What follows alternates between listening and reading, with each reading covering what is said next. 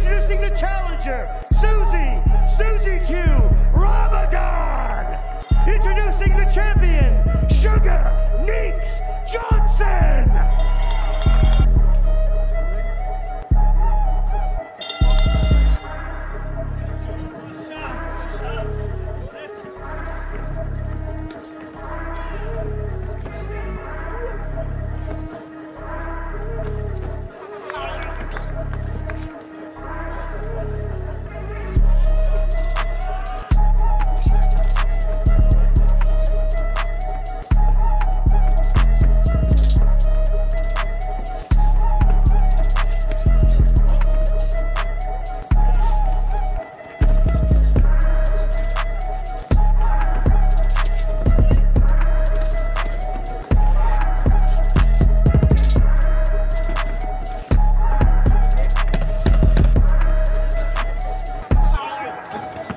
Savannah Marshall in the headlining bout Gardner, outpointing Michaela Mayer in a, a, fantastic day for women's boxing overall. Now we've got a good one here. Had all the makings to actually be it. You can tell uh, they're, they're going for it. Of Cherneka Johnson, and you see Ramadan trying to pounce on it.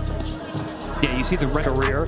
Ramadan has lost big cut over the left eye of Chernik. But these ladies have been throwing a lot of shots. A sh uh, cut that high on the head now the doctors are going to look at her. She's got blood from the nose. She's got gauze in the left nostril. Now the ringside physician looking at, oh goodness. Yeah, that's going right in the eye. Very, very dangerous place for that cut.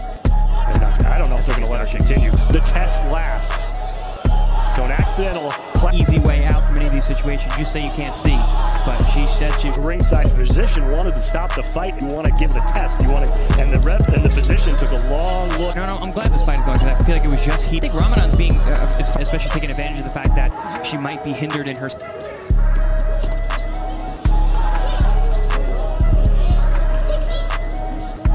Wide-eyed glare of Cherneka Johnson just trying to find some visibility it stings. If it gets in your eye, it burns. Of the belt against the former champion Ramadan, a good overhand right gash. I like what Johnson's doing here. He, she came out with a stance like she's in the bank. Ramadan, you heard, and a no knockdown push. You heard a push from Johnson there, and Ramadan pops right back up. Is getting that move towards that eye. Because if there's kind of any kind of eyesight hindrance, you want to move that way, you want to try and shoot the most. And it's now two round. Putting the from that high guard, and she's answering in combination. And changing her levels too. You mentioned the upper body movement, hips of Ramadan, all the ability, good movement for fluid upper body movement, which is why she might have caught that headbutt as well than she wanted to be because she needed to bank the runs. Absolutely, yeah. She got very dialed in after that third round. And she's been very successful with these last a knockdown in the last round. It seemed quite a bit from Ramadan. She's for punching in the back of the head, this time for punching during a clinch.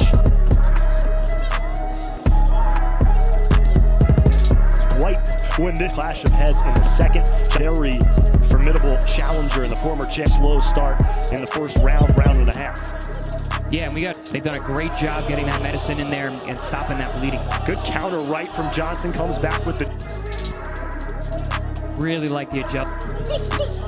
And you're right, it hasn't been that busy, and a lot of times that's the number one thing down the down the stretch. This is just 2018, but it is her second. Recently, she's fought a lot, but over the past couple of years now, coming in from Ramadan.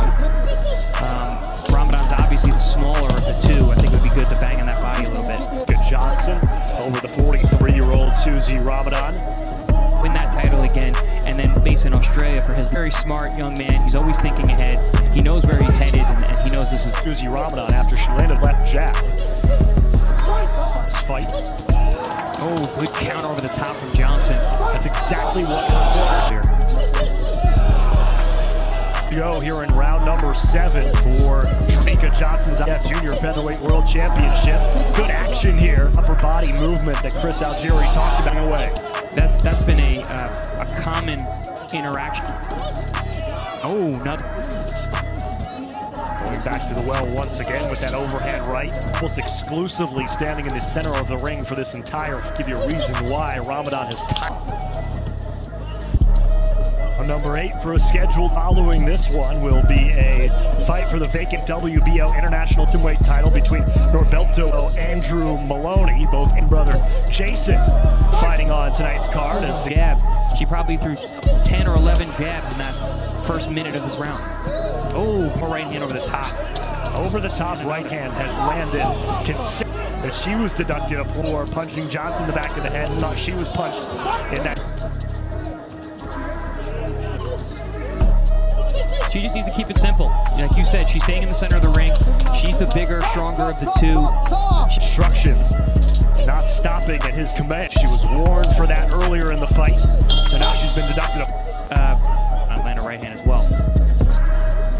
Is lost on the card.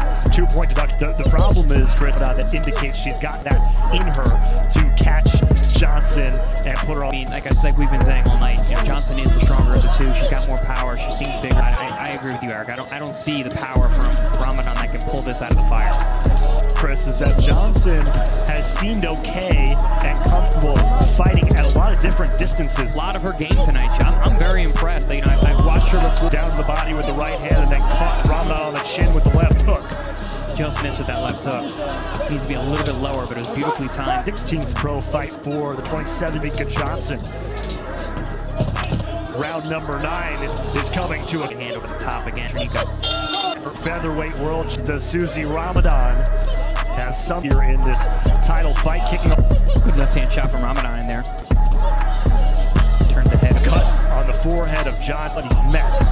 But really, since then, it's been in control. We're gonna get this far. Ramadan catches Johnson on the storm here for the final 30 seconds. She scored a knockdown in the fourth.